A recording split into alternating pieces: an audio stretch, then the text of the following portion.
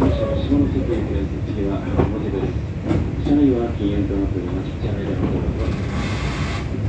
運転手席ステムでは、携帯電話の電源を切りください。車内がおりましては、マナーボードに電話をレスラーは。車内への危険物の落ち込みは禁止がありま。車内で不審な荷物の落ち場合は、速やかに引き出される。